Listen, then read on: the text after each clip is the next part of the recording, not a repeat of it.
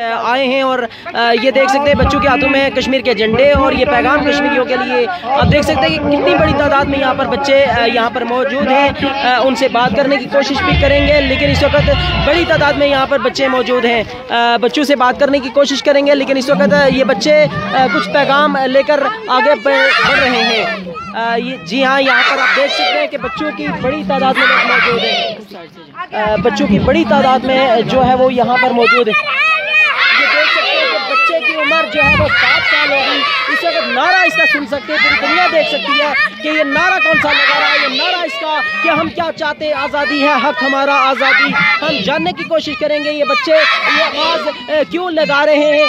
کیا کیا ان کو ایسا پیش آ گیا جو وہ آزادی کے نعرے لگا رہے ہیں؟ جی ہاں۔ آپ یہاں پر کیوں آئیں یہاں پر ہر وقت جو آرمی انڈیا کی ہر وقت بلا اختیار فائرنگ کرتی رہتی ہے اور ہماری آرمی جو ہے آگے سے جوابی کارروائی کرتی ہے تو تب ہی ہمارے اسکول ہر وقت بند ہو جاتے ہیں اور ادھر یہاں ادھر آزاد کشمیر میں ہم حکومت پاکستان سے گزارش کرنا چاہتے ہیں کہ کشمیر کو آزاد کیا جائے اور آئے ہیں اور یہ دیکھ سکتے ہیں بچوں کے ہاتھوں میں کشمیر کے جھنڈے اور یہ پیغام کشمیریوں کے لیے۔ آپ دیکھ سکتے ہیں کہ کتنی بڑی تعداد میں یہاں پر بچے یہاں پر موجود ہیں۔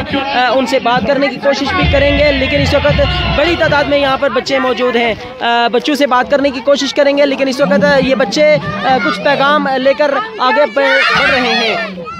جی ہاں یہاں پر آپ دیکھ سکتے ہیں کہ بچوں کی بڑی تعداد میں موجود ہیں۔ بچوں کی بڑی تعداد میں جو ہے وہ یہاں پر موجود ہیں۔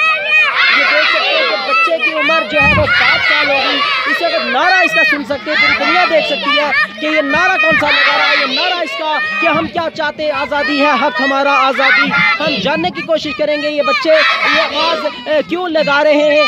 کیا کیا ان کو ایسا پیش آ گیا جو وہ آزادی کے نعرے لگا رہے ہیں؟ جی ہاں۔